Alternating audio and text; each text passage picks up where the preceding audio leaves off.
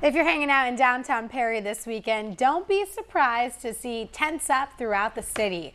41 NBC's Sean Franklin stopped by Peaches to the Beaches as they were setting up for one heck of a yard sale. All the vendors weren't quite set up yet, but the early birds for this weekend's sale had some really cool stuff. Plus, it attracts people from all over the nation for one of the largest yard sales you'll ever see. One person's giveaway. You think I can get this TV before it gets gone? Is another's treasure. Perry officials helped host Peaches to the Beaches, a yard sale that goes just a little farther than your driveway. It's over 200 miles of yard sales and it comes right through Perry, Georgia on Highway 341. The yard sale stretches from one end of Georgia to the other, and street vendors like this are selling anything from a stuffed dolphin to a baseball helmet. Not to mention vendors like Ken McBrearty, who gave me a demonstration of a Swiss-made veggie peeler.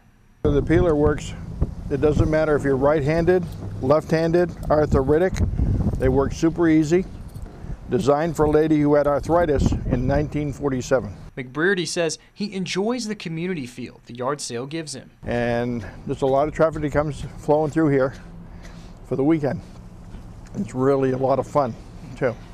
James Steele and his wife Tiffany picked up an early sale Thursday afternoon.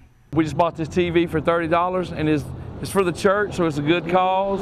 It's a nice day to be out here, so just looking forward for the whole weekend of looking it. Looking forward for the whole weekend of it. God bless. Sheila Jones, executive director of the Perry Convention and Visitors Bureau, says the sale is a national hit. We bring people from all over the country come here. We've, we've seen people already this morning that have drove down from Michigan just to shop, shop the yard sale. So it might take a little longer than a walk down to your front yard, but hey, who knows what you'll find.